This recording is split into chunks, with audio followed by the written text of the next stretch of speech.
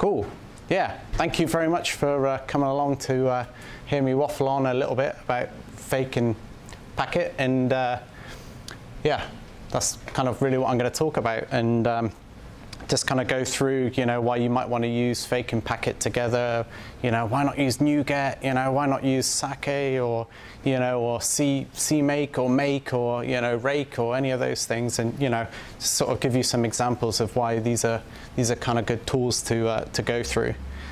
So yeah, a little bit about me very, very quickly. So software engineer at Elastic, so the company behind Elasticsearch, Logstash, Kibana, Beats, and a few other things.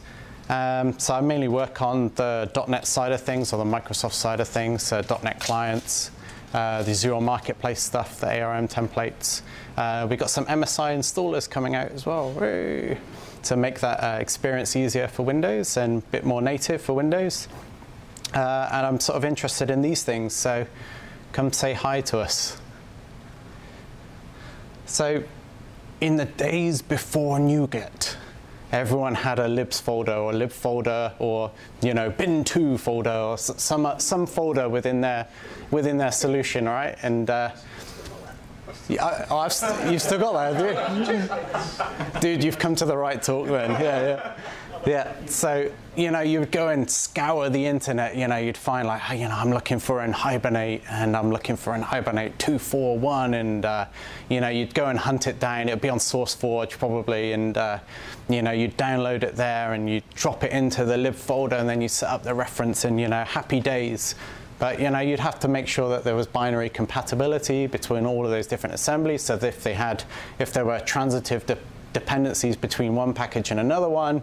You need to make sure that, you know, putting in some maybe some assembly redirects, you could be able to sort of massage the two together and make them work together, or otherwise go to the source, compile it yourself against the, you know, a known version of that conflicting dependency and then, you know, drop that into your lib folder. So that was kind of how things were not even that long ago, right? It's like 2010, 20, 2009 maybe? 2000, I, I, forget now. It was around, around that sort of time. And then sort of NuGet made referencing a breeze, you know, we sort of suddenly we've got this, this GUI inside of Visual Studio and we got a NuGet.exe and we could go and find the packages and we had the versions of them and that was all awesome. And, uh, you know, it was, we were in a much, much happier place. Um, the only kind of problem was is that like NuGet was NuGet hell was kind of the new DLL hell. You know, you still had the same kind of problems that you had with having that libs folder and sort of transitive dependencies between things and you know having to maybe go and recompile stuff against another known version so it was kind of kind of the same kind of deal and pl plenty of people have written about the problems uh, they've, they've had with NuGet there um, so the first thing I want to talk about is Paket. So what is Paket? It's dependency manager for .NET and Mono, so a cross-platform, which is the new, uh, you know, that's the new 2016 uh, Microsoft. So yeah, it's designed to work well with NuGet packages, enables referencing files directly from Git repositories, so ideal for working with F Sharp, so F Sharp script up on GitHub somewhere, you can reference that directly with Paket uh, or any HTTP resource, and it gives you precise and predictable control. And I'll go over a few of the reasons why you might want to use Paket over, say, uh, NuGet. Uh, but it, it sort of gives you better understanding exactly of what, you know, what projects within your application are using what dependencies as well. So there are kind of a few main components to it. So I'm going to go through uh, what each of these are but essentially paket.exe is the actual executable that runs and does all the packety stuff. Uh, paket dependencies, uh, paket lock, and paket references. So paket.exe, uh, you generally find it within, so if you've installed paket in a, into a solution, you'll generally find it in the .paket directory and uh, you know you can sort of run it with the help command and you'll get a list of all of the various different commands that you can run with paket there. So these are kind of the the common ones here. Uh, ignore the syntax highlighting. Uh, for some reason reveal.js just uh, you know likes some of those words more than others.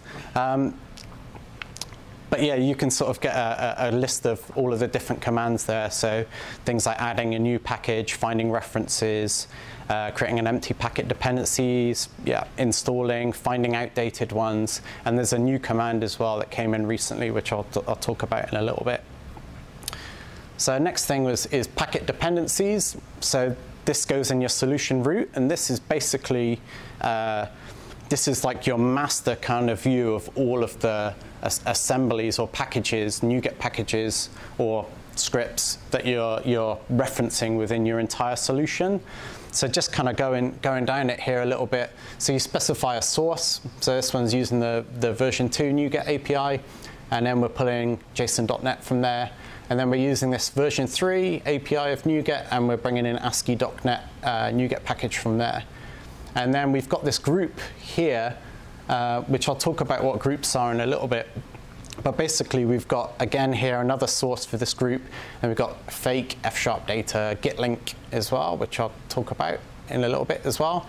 And then we've got another source here coming from MyGet, and we've got this uh, pre-release run of the unit, XUnit runner here. Um, anyone got any ideas why we might still have that in there? So as some background, the .NET, uh, .NET clients for Elasticsearch uh, run on Core CLR.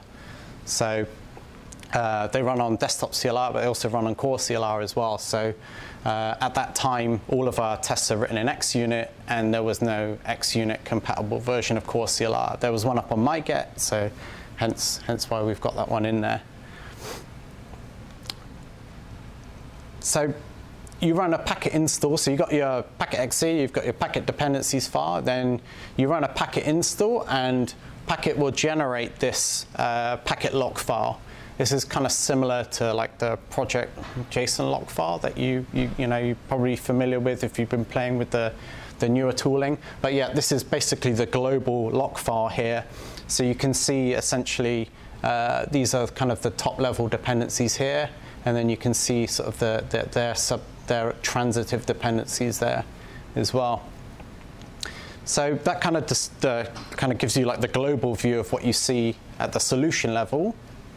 Uh, then what you would see in each one of your particular projects is this paket references file.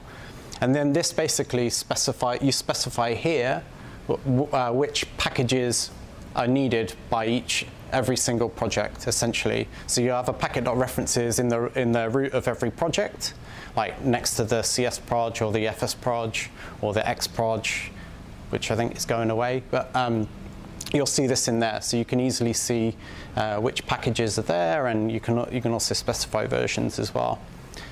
So that was kind of like a brief overview of what Paket is and kind of you know, the tooling there and kind of the main components of it. Why would you want to use Paket over NuGet? You know, I mean, I, lo I love my GUIs as much as the next guy. I also like the command line, but um, you know, why would you use this over over NuGet? So, kind of going back over a few of the points I made at the beginning. One of the reasons is predictable control over your references. Like, can anyone look at this and tell me what are the main dependencies of this project? Like .NET 4? Yeah, yeah, yeah, .NET, yeah, .NET 4, yeah, that's the framework, certainly. But you have no idea looking at this which of these are, are, packages that are referenced in the project and which ones are transitive, i.e. referenced by other packages. You've got no idea looking at that. The other thing here is that like the version numbers here for all of these packages, they're burnt into the, into the package file. So kind of NuGet makes no separation for transitive dependencies. Uh, and then upgrading packages globally across projects can be really painful when you have this in every single project. And then you go, you know, you go click on the solution and you NuGet, uh, manage NuGet packages for solution and then having to work your way down through all of the myriad of checkboxes on there. I, I, I get, I'll be honest, I get confused with that. I, I totally get confused with that. And I'm sure it's done stuff that has been unexpected for me by clicking various different combinations there. So this is the same thing that we saw here, but with Paket. I know straight away that this project here references only Nest and only Net Topology Suite IO JSON. Everything else there, everything else here is a transitive dependency. So that's, that's kind of cool. The second thing is referencing multiple sources. Okay, NuGet, NuGet can do that as well. So you can pull from NuGet if you want to and all the different versions of NuGet. Also pull from MyGet as well, which um, we saw an example of there with the XUnit runner. Can also reference stuff directly on GitHub as well. So as I said before, if you're using F Sharp and F Sharp scripts, then you can just pull those down and reference those directly. And then, you know, um, if they change, you know, you can pull down the updated versions. So if you're if you're kind of uh, you might be toying with some ideas and have like a few F sharp scripts up in gists and that you can reference those easily in Paket and, and pull those down. But you can also use your own NuGet server as well for anyone um, brave enough or, or, you know needs to run their own NuGet server internally. You know maybe your company's locked down in some way, then you can also use Paket for that as well, and essentially any HTTP resource. Uh, one of the other reasons, or another reason for using Paket, having multiple versions of the same dependency is extremely easy to see. You know, for example, here we've got New, uh, Newtonsoft.json is kind of our main. Uh, so JSON.NET will be using the latest one here by default because we haven't specified a, a version number there. But then, you know, let's say we've got like a .NET 4 project that we still need to support in some way, which uh, we did up until version one of the .NET client. I have a version, uh, .NET 4 version of the client that we also needed to build. Um, and that might be using a different version of JSON.NET, for example. Or you might you might have these like uh, like auxiliary projects uh, in your solution that do other stuff that aren't maybe they're not part of something that you've released, but they might be uh, for example, like used to generate code or used to generate documentation or used for like your build process. And you might want to reference like a different version for those as well. So a group basically allows you to do that. So with, within a group, what you'd see is in the packages folder. So Paket puts everything in a packages folder as well. What you'll see in that packages folder, you'll have another uh, uh, directory in there with the name of your group, and then inside of that directory there, you'll have all of your packages specified underneath that group. So really easy to see what's going on there. Different framework versions. Now this is something that I, I think this is one of the best things in uh, Paket, to be honest. Um, you know, how many of us have kind of, I, I know I've done it, I did it the other day. I was messing around with a project, but um, you'll sort of build something and you'll start a new project and you'll start writing something out and you know it, it, you might have .NET 452 as your default framework and you've gone all the way through and you've added all your dependencies with NuGet and then uh, or, or, .NET 6 let's say and then now suddenly you've realized actually I needed to be building this for another framework version so you change the framework version of all of the projects, and then you get all of the warnings from NuGet now saying that you know you're referencing a version of the uh, of that package which is built for a different framework version. I, I mean, I, I've seen that quite a few times. What Paket does, which is really neat, is it leverages uh, some of the MS Build configuration. Uh, so when you when you reference a package here, it actually puts this uh, conditional uh, statement within the within the CSproj or FSproj uh, to basically reference different versions of the package uh, depending on which version of the framework, you know, which version of the framework you're targeting. So no, you don't have to worry anymore about that. You know, I've referenced this version now. I need to change the framework version. So super, super helpful. This is also helpful as well if you build stuff, which I'd go into in a little bit, if you build stuff on the command line and you target different framework versions there as well. So for example, for the .NET client, we actually build three different versions of it, a .NET 4.5, a .NET 6, and a Net Standard 1.3 version, the core CLR version. And this is super, super helpful for doing that. We basically just run MS Build with different commands or .NET XE with different commands uh, different framework versions, and we get, you know, we, we get the, uh, the, the right output out there that we want. Another super, super cool feature, flagging delisted packages.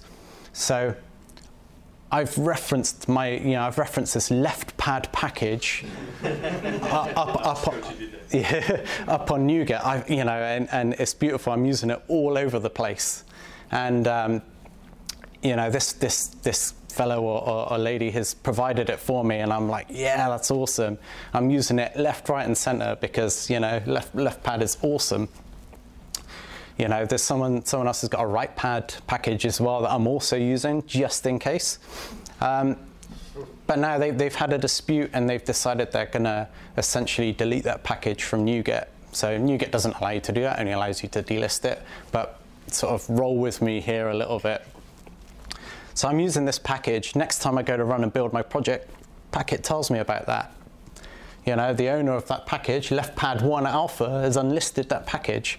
Could mean that it's deprecated and shouldn't be used anymore. So Paket tells me this, uh, you know, when I, when I build every single time I build, which has definitely come up when we've been building the clients. All of the system reactive, all the reactive RX uh, packages, they all went through a rename uh, a few months ago. And we were using the current version at that time, and then now I can't remember exactly what they're called now, system.reactive something or other. Um, but we got flagged that all of those had been deprecated, and then we could easily reference the new ones. It was just a case then of just going to the net and finding out what they what they're called now instead. So, uh, as I said sort of previously, and as I started with, giving you a global view of your uh, dependencies. So what, you know, where's this package used? What's it used by? Is it a dependency of another package? And um, recently, uh, Stefan, uh, or Stephen, Stefan, uh, added uh, the paket why command here. So basically you can issue this and figure out, it'll tell you exactly whether it's a direct dependency or whether it's a, you know, a dependency referenced by another package. Um, this is kind of a short example here, but um, I did have one. You try this in your own projects for something like you know system.component model or something like that, and uh, or even one of the new net standard packages and see all of the stuff that comes up for that. You know, it's like a massive long list. Um, but yeah, you can sort of unlock the details of those complex dependency chains with, with this command, which I think is cool. So that was kind of like an overview of like why you should use Paket. Kind of going on a bit further, um, it's probably good to talk about how package resolution happens in Paket and then look at how that compares to NuGet and you sort of decide on, you know, which one sounds like a reasonable strategy to you. So the way that the package re uh, resolution or dependency resolution goes in uh, Paket here is basically select the latest version for each of the packages in the dependencies file, plus all their transitive dependencies, and then such that all the version constraints are satisfied. And it does, it takes a, so I mean, this is a well-known problem. It's a, a link there, constraint satisfaction problem, kind of similar to like a specification problem and it has a few different strategies that it goes about uh, trying to find those dependencies. So, so it's kind of the easiest thing to, is probably to go and look at the code for how it does it, but it kind of does a breadth first approach. So it doesn't, you know, crawl down and figure out this thing. It does a breadth first approach um, it sorts them based on requirements, based on whether there are conflicts that it finds. It will provide some boosting to those particular packages to say, hey, I need to pay more detail to uh, solving a particular uh, conflict with this one than I do other packages. Um, and then, yeah, so it sort of gives those ones that potentially conflict will boost. And if it can't resolve, you know, problems for, uh, across all of those packages, then it will tell you about that as well it won't just silently go, hey, everything's okay. It will, it will tell you about that. So the way that, if we sort of contrast this with how NuGet does its dependency resolution, um, it kind of depends on what version of NuGet you're using, to be honest. Um, so if different people have different NuGet exes, uh, you know, with, uh, running on their local machines, it could do very different things. So in NuGet uh, 2.7 and previous, it would basically use the highest patched version of a particular uh, package. It would use that. That was changed in NuGet 2.8, which now used the lowest patch version. So can anyone remember that change coming in? Because I, I, certainly can. You know, it's like I'll pick the lowest dependency by default. I think it was like a couple of years ago. I think maybe a year ago. It doesn't seem that long ago, but then I'm getting older, so. Um, but yeah, it picks the lowest patch version, and then now in so this is that's 2.7 and 2.8. Now in NuGet 3, there's another way it does uh, resolution. So there's a few a few strategies that it goes through for that.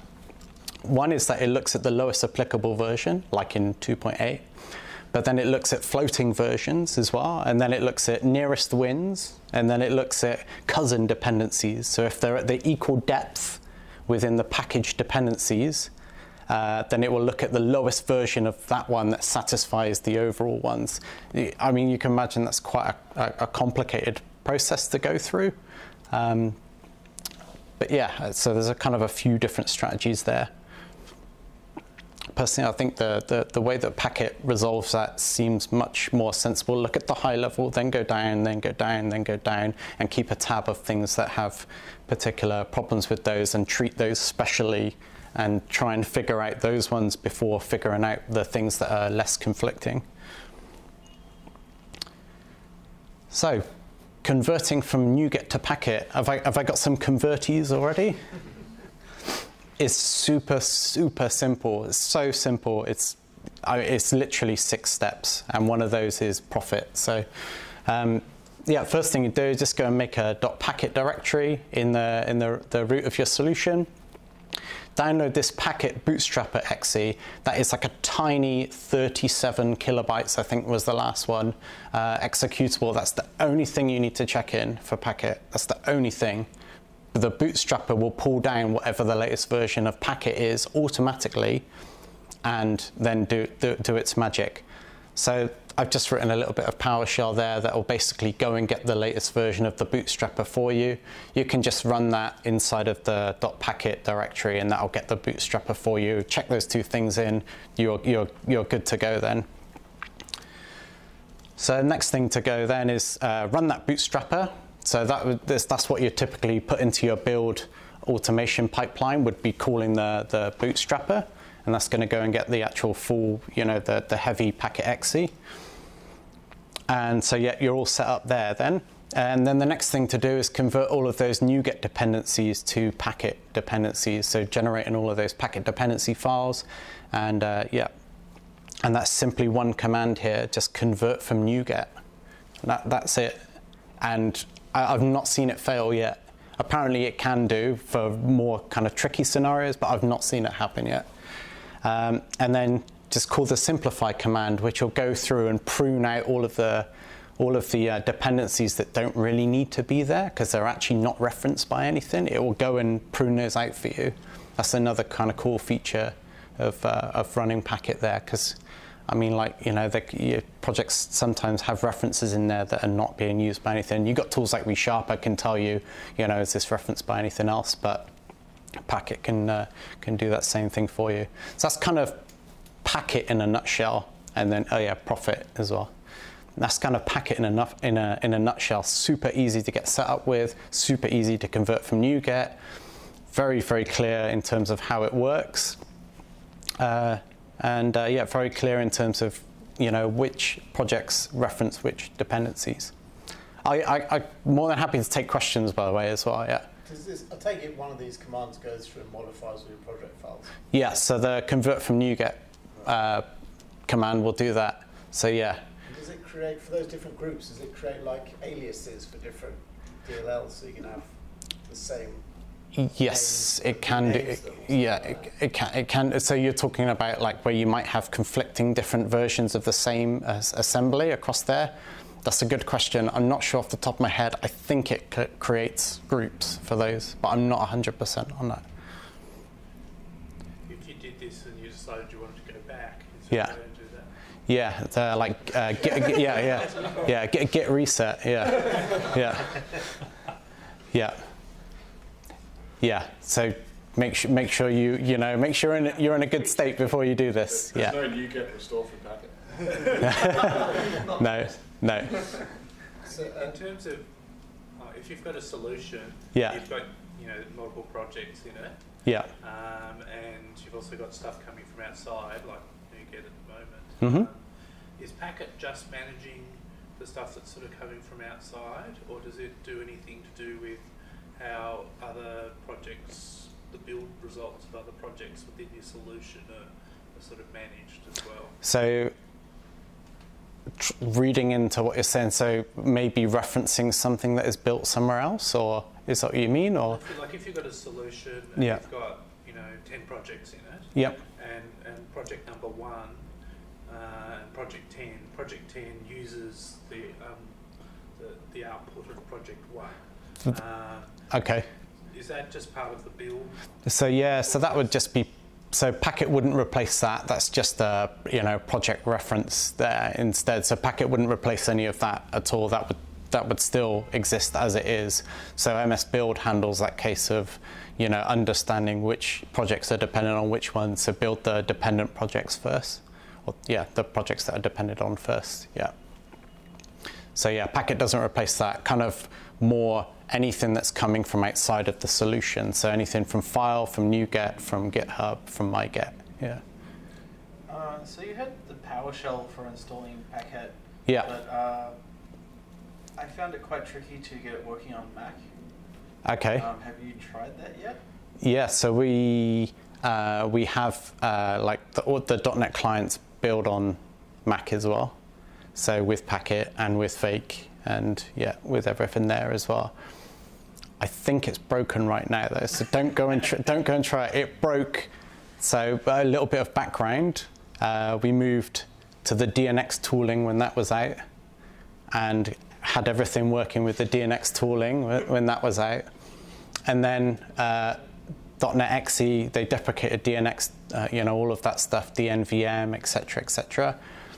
We had everything working with that, but as a consequence of bringing that in, uh, it broke. Um, it broke that stuff working cross-platform, which is weird, right? I mean, it's there for for cross-platform, but it broke it.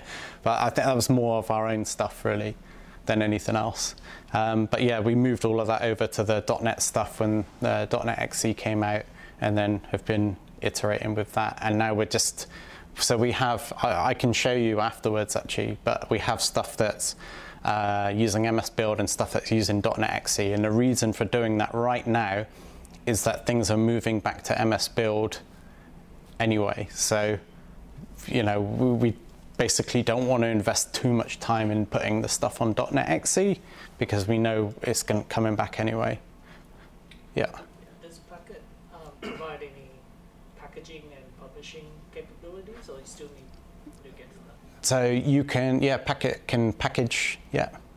Paket can package stuff, yeah. So would yeah. it use the nuspec file? Yes, yeah, yeah, yeah. Uses nuspec file, yeah, yeah.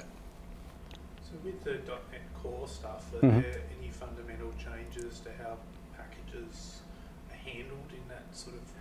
Uh, Yeah, so it's all Project JSON references there.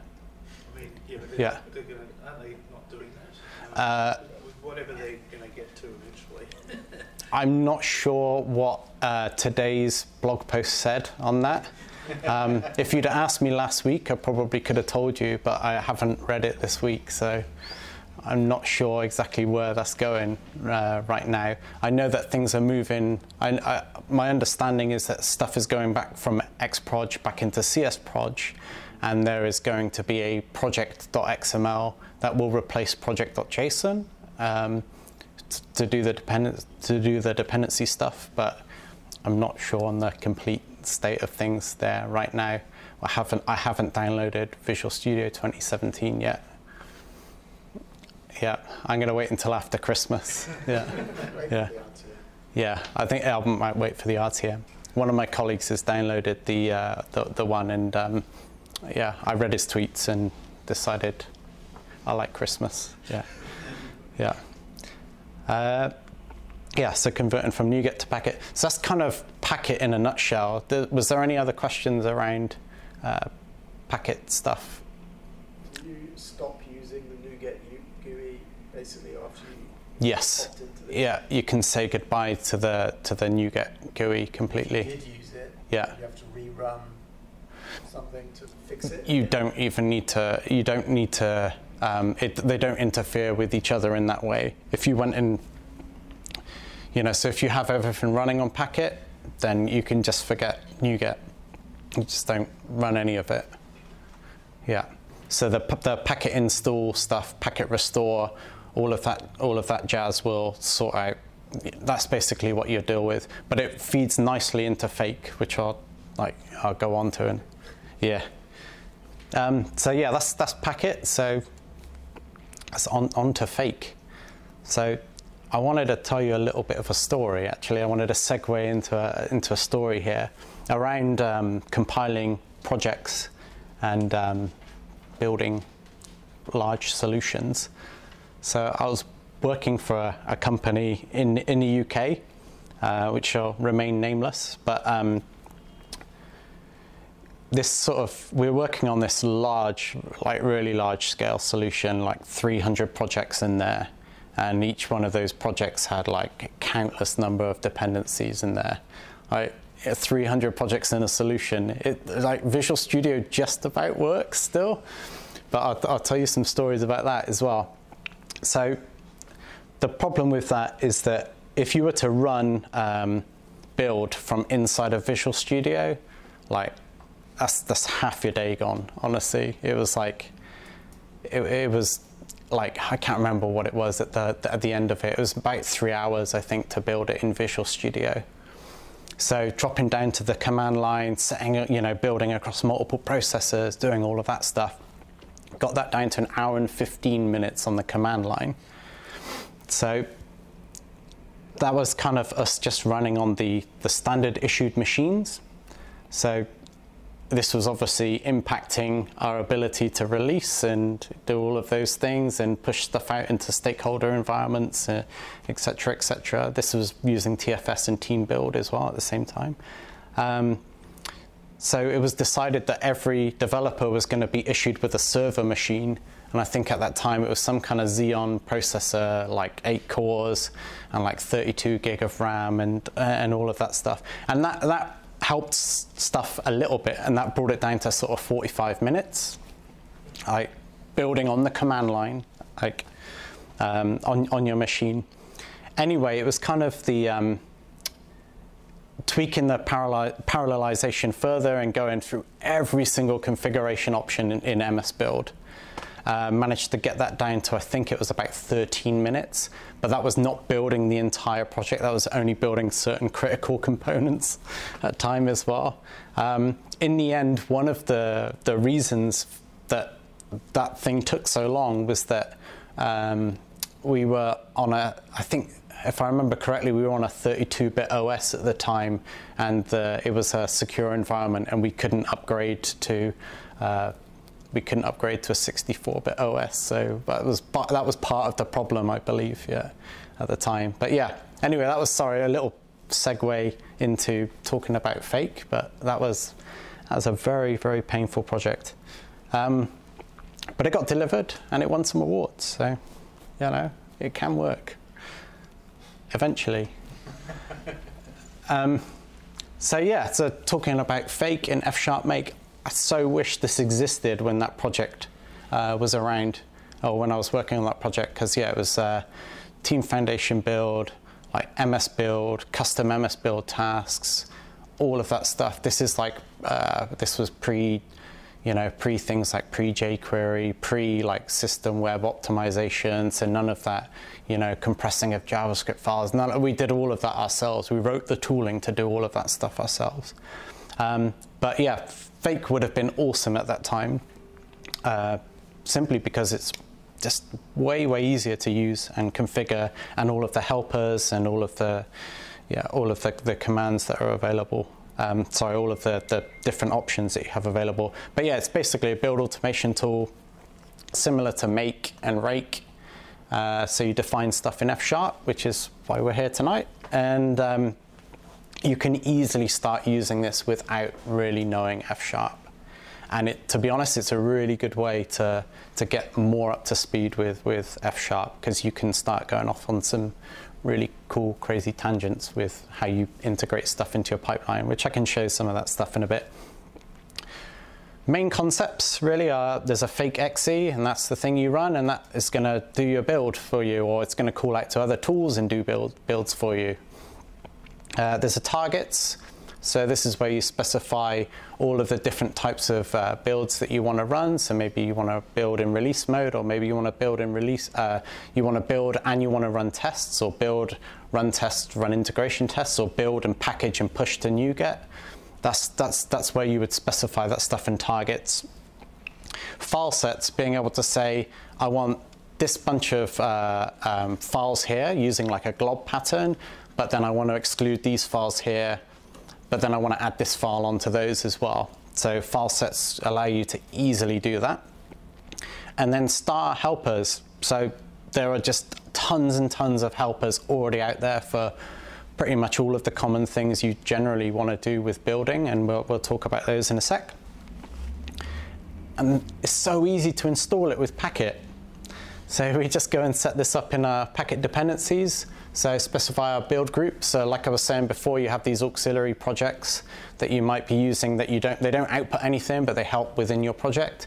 So we've got a build group here, and then we're, we're just gonna um, specify fake there. And then we just run paket uh, install, and then we have fake package on our, on our machine. So next thing we probably want to do is have a, just a container project for all of our F sharp scripts that we're going to write so that, um, you know, for our target files and other, uh, other extension points. So go and set up that project. And then in our uh, target script, just reference the, the fake library that's in the paket package that we just downloaded and then open it and then we're, we are ready to go. So the next thing that we'd want to do inside of that, that script is to go and define some targets. So we can see here that we have a couple of targets here, test and build. So both of them just write something out to the console. They don't do anything right now. And then we've specified down the bottom here that test uh, has a dependency on build. So if we wanted to go to, to fake and say uh, fake run the test target, it's going to go and run the build target first, and then it's going to run the test target. And then if we just run fake without any targets, it's just going to run the build target for us by default. So the way that you would end up calling this with fake is you would call fake exe and then pass it the name of the target that you want it to run. And you know that, that's all fine, that's all well and good. Um, but one of the things that's often useful to do is to set up like a batch script like this just in the root file or a PowerShell script or a bash script, whichever, whatever your flavor of uh, you know, command line scripting is. Uh, so this is kind of like a stripped down version of what we have in uh, the .NET projects. Um, so we can see how this ties in with Paket here. So first of all, call that bootstrapper, then call paket restore to restore all our packages. And so if there, if there aren't, if there's nothing to restore, that's like super, super quick. And then we've just specified a default target in here. We could, we could not even have that, to be honest.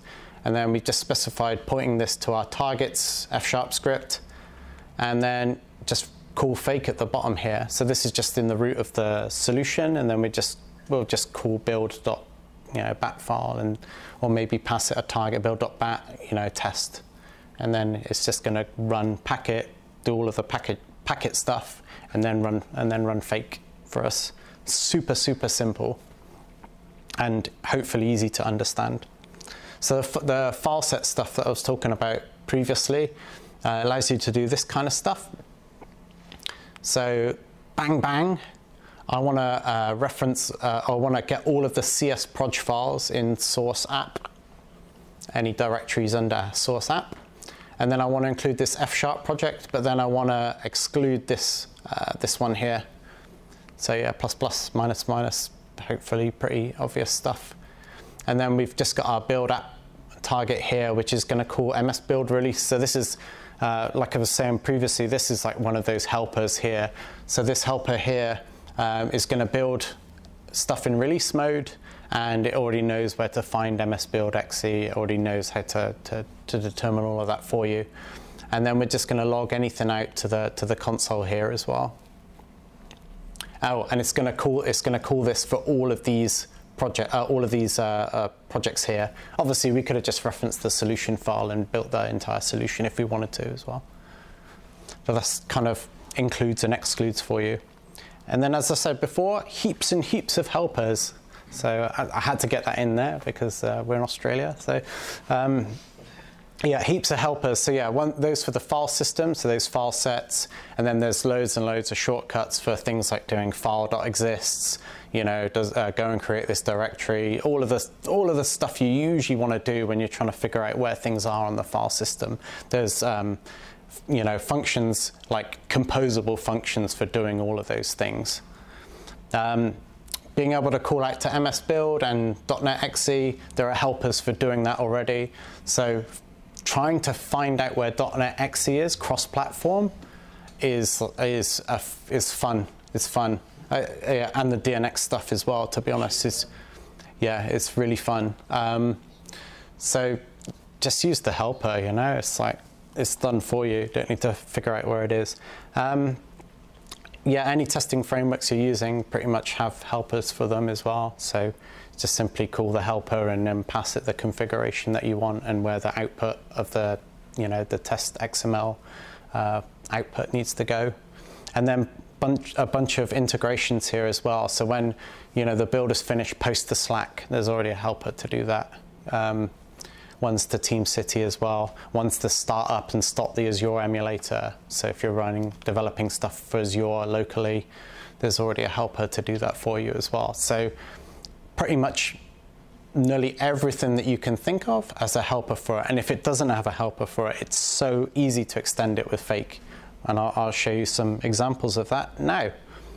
So putting this all together and looking at what we have um, in, in the .NET clients is kind of useful to see some real world examples of this. Like, you know, you I kind of talk through the simple high level of paket and fake, but like, you know, how are we actually using this at Elastic and what are we doing with this? So this is all on GitHub already. You can go and download the Elastic stuff and go and pull it all out. It's all under Apache too. So if you want to take it and use it in your own projects, you know, it's, it's, it's open source. So you can, you can go and do that.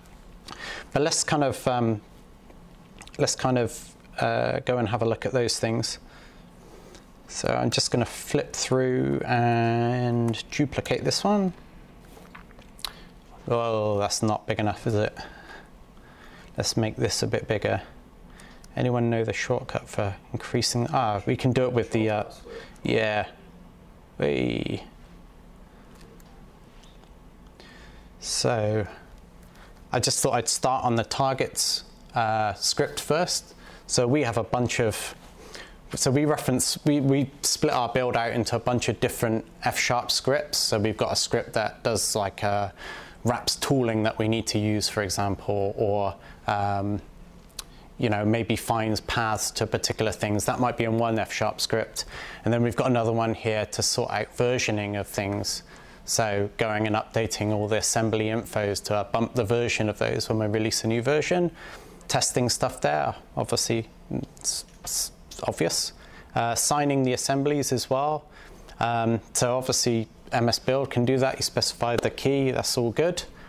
Uh, but we check to make sure that things are signed correctly as well. It's happened before um, that things, you know, things have been built and then they've not been signed correctly. So we just verify that stuff is actually what we think it is. Uh, building, then also running, we generate documentation for the clients based on tests. So we have some stuff that uh, we use Roslyn to basically go through tests and pull out particular elements of those test files and generate AsciiDoc files from those. And then those AsciiDoc files actually go to another central process that generates the HTML uh, and all the documentation you see for the clients online. So that's what the documentation stuff does. We profile and benchmark the clients as well. So we got some stuff that we call out to there as well. So we just have a bunch of different targets here and uh, it's kind of not very interesting to kind of look through like this, but um, bear with me. Um, so yeah, a bunch of different ones, and then down the bottom here we have all of the dependencies uh, here for each of the different uh, targets here. So you can see we've got quite a few different dependencies here. Memorize Unicode character numbers for these scripts. Yeah, for that funny arrows. Ah, yeah. Sorry. Yeah, that I, I should I should say actually. Um, I really love the the Fira Code font. So if and if if no one else has seen this before, uh, I'm just using the Fira Code font here. So uh, it gives you some really nice ligatures here for um, for particularly for programming languages. So yeah, all all this here is just a pipe backwards operator. So if I yes do this and then uh, specify the pipe, it just gives me the nice little triangle ligature there. It looks really cool for F sharp. It's cool for C sharp as well. How do you spell that? Firacode, F I R A C O D E. So yeah, just go and install the fonts there, and you can use those in, in Visual Studio, uh, Visual Studio Code, any of the editors. Yeah, I, I love it. Emojis for Visual Studio. Yeah, yeah. It, it has. I think it has some things that look very similar to emojis in there as well. Um, but yeah, sorry, I should have I should have explained that. Um, yeah, so we just pass a function into the target, and that function's going to run when that target gets called. I should have also told you that as well. So we can see these are calling out to various different things here. Uh, let, us go and have a look and see what that is. So this is in this build script here. So we've got a few different static methods here on, on this build type. So a few different things we do. So cleaning all of the bin and obj folders, super easy to do. Just call the clean directory. Uh, you just call this on, on those directories. We actually build everything to a separate out build output folder because that's where we do all the packaging and where we where we do all, all of that kind of tempor- temporary stuff. So we just specify that that there. Uh, so quick compiling. We do some other things as well when we when we release. Um, often it can be useful if you um, you know if you if you want to be able to uh, kind of go to source, then there's a pretty cool tool called GitLink, which can basically uh, insert into the PDB file. It can insert into that PDB file references to where those files can be found on GitHub. So we, we run GitLink there to modify the PDBs when we send those out. So if you if you reflect F12 on, on a particular piece, then you can. Visual Studio will actually go to that. Mm -hmm. Yeah, yeah, yeah. It still says my local path file if you in the in all the debug messages, which uh, you know is kind of fun, you know. But um, yeah, GitLink is is useful for that. So that's just a tool here that we've that we've wrapped up in another in another script here. So this is quite an interesting script to look at. We have a bunch of different things for different projects that we target. So as I said earlier, Net 4.5, 4.6 and Net Standard 1.3. And the two different projects that we do end up building, Nest and Elasticsearch.net. Then our private test project, which we also need to build to, in order to pass out to the test tooling. And yeah, it's kind of going going down here, uh, ways of being able to try and find those particular projects based on where we are in the, the file hierarchy. Um, but I think this is this is quite kind of interesting to look at. So where I was talking about before, you know, there's loads and loads of helpers for doing all the useful stuff. If there isn't a helper for the thing that you need to do, then it's super super easy to write something. So we've got this tooling module here, and uh, we have a couple of different uh, tools in here. So one of the things we do is we pop up Toast on the uh, operating system, and there's an easy Node.js package to go and do that. So we have some uh, we have some uh, some tooling in here for npm and, and Node here to reference those. So build tooling there. We also use all of the JetBrains, like the profiler and like timeline memory profiler to memory profile the the um, clients as well to make sure we're not messing things up as we release new versions. And again, simply we've wrapped, we've wrapped those here as well. We've got the profiler tooling here. If it doesn't exist locally, go and download it, unzip it, and then reference that stuff. So we can then easily run that profiler tooling. And then we just wrap the execution of, you know, calling those particular um, calling those particular executables here and passing them the arguments there. So integrating JetBrains tooling, super, super easy to do. It's like, it's literally this. And then we'll just we'll call it in another uh, in another script. So if we go to profiling, profiling script here, here's our profiler. So run run the trace profiler, grab the snapshots, use uh, use those um, use the snapshots to uh, sorry pull out a an XML snapshot from the actual profiled uh, file. So the, the, there's like a profiled file. You can give you all of the in-depth stuff that gets read by the tooling. You can open that up and like navigate down and through. But that's kind of not useful for stuff like Team City and that. So you can do the snapshot stats and, and the reporter, and you can get something more meaningful out to integrate with Team City. So like an XML file and how long each individual thing takes. So we just call all those different tools here, essentially. And then within the same uh, project, we also do benchmarking as well. So we can call that compiled. Uh, um, it's actually uh, uh the DLL test, yeah, test DLL. We can call it in a different way here, and then we use the benchmark.net stuff there as well to benchmark, you know, to get some real fine grain um, understanding of like allocation of bytes, you know, like uh, you know, GC, you know, all of the GC events there as well, how long things are taking, you know, where, where the serialization is, is there as well. Um, but yeah, how long the serialization is taken. So we can easily just go and run benchmarking there as well. So we've just wrapped wrap that stuff up there as well. Um, so how does this integrate with MS Build and how much does it depend on CS Proj and those kind of things? So for building actual projects, obviously there is no better tool than MS Build to do that. So Fake is not trying to replace any of that tooling. Fake is simply a way of you being able to automate all of that tooling across, you know, uh, within your, within your project. So it still calls out to MS Build to do the actual uh, building, but you can see like there's loads of other stuff that we do which you know doesn't depend on MS Build. It depends on other tooling, and if there isn't any other tooling for it, or you know, then we can we can write our own stuff for that as well.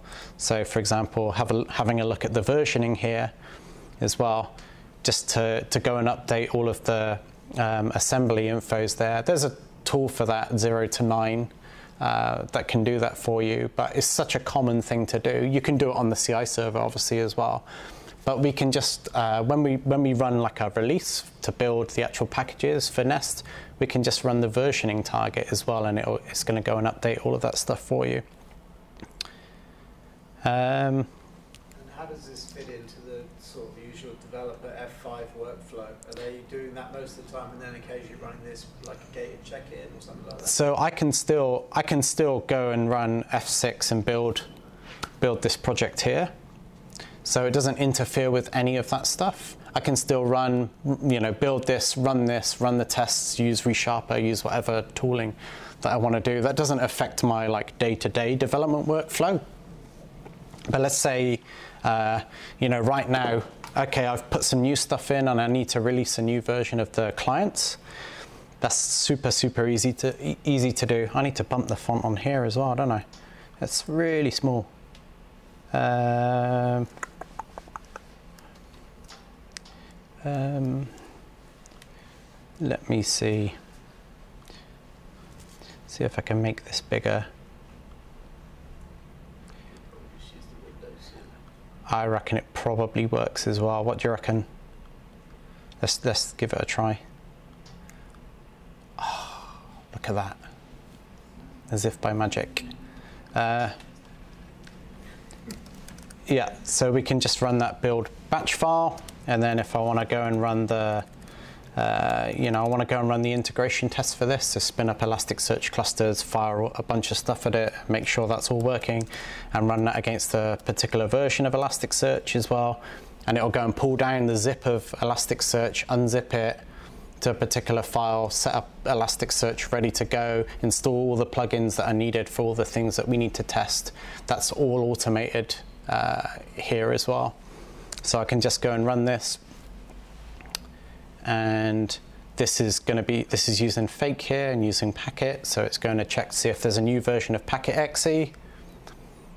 So restore the packets and then we're just watching build Nirvana now. So So we're just going to run through and build all the projects, and then we'll see that we get into running integration tests, and you'll see all. Up, it was green, it was red and yellow. It was red earlier, so yeah, I just tweaked the colors in the in the com- in the command console. Yeah.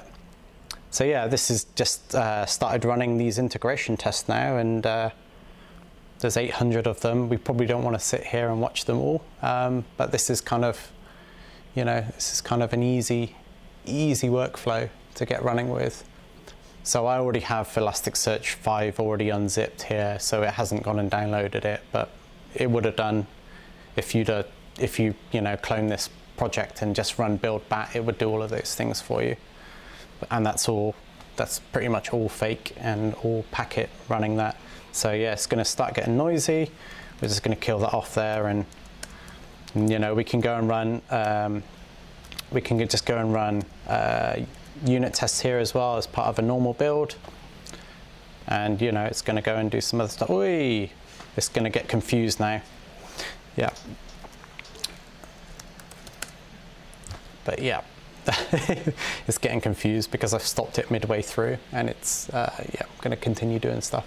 But that, that is fake in a nutshell. Any sort of questions on that? Your CI server, what's the setup?